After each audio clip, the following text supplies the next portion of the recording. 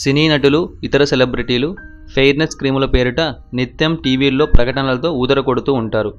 తమ company cream లేదా powder వాడితే నల్లగా ఉన్నవారు తెల్లగా మారుతారని ప్రజలను తప్పుదోవ పట్టిస్తూ యాడ్స్ ఇస్తూ ఉంటారు.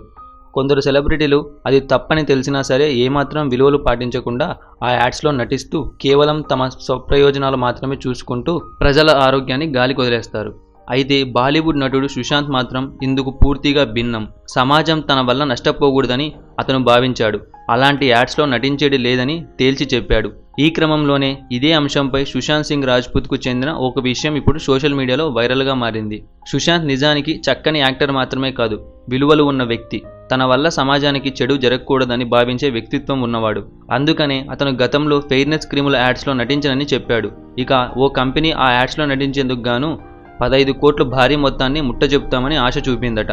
కానీ అందుకు సుశాంత్ ససేమిరా అన్నాడు. ఫెయిర్నెస్ క్రీములు వాడడం వల్ల నల్లగా ఉన్న ముఖం తెల్లగా అవుతుందని చెప్పడం ప్రజలను తప్పుదోవ పట్టించడమే అవుతుందని అతను నమ్మాడు. అలాంటి ప్రకటనలో నటించలేనని చెప్పాడు. ఆ కంపెనీ మూడేళ్ళ కాలానికి గాను ఆరు ఫెయిర్నెస్ క్రీమ్ యాడ్స్లో నటించాలని చెప్పింది. అందుకు అంత భారీ మొత్తంలో డబ్బు అందచేస్తామని తెలిపింది.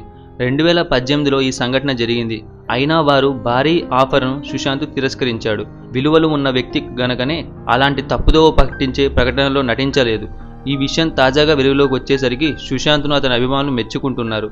అవును మరి కేవలం డబ్బు కోసమే ప్రజలను పట్టించుకోకుండా వారిని తప్పుదోవ పట్టించే ప్రకటనలో నటించే కొందరు సెలబ్రిటీలతో పోలిస్తే సుశాంత్ ఇప్పుడు ఎంతటి మంచి వ్యక్తిత్వం ఉన్నవాడో అర్థమవుతుంది కూడా. ఇవే కాకుండా తాజాగా సుశాంత్ ఒక అమ్మాయితో చాట్ చేసిన స్క్రీన్ షాట్స్ బయటకు వచ్చాయి అందులో కూడా సుశాంత్ చాలా మర్యాదగా చాట్ చేశాడు. అంతేకాకుండా కొన్ని కొన్ని సందర్భాల్లో బాలీవుడ్ తన పక్కన పెట్టిన విషయాన్ని కూడా ఇండైరెక్ట్గా చెప్పాడు. సుశాంత్ చాలా మంచి వ్యక్తిత్వం ఉన్నవాడు అని చెప్పడానికి ఇవి కొన్ని ఉదాహరణలు మాత్రమే. మరిన్ని ఇంట్రెస్టింగ్ వీడియోస్ కోసం సబ్స్క్రైబ్ చేయడం మర్చిపోకండి.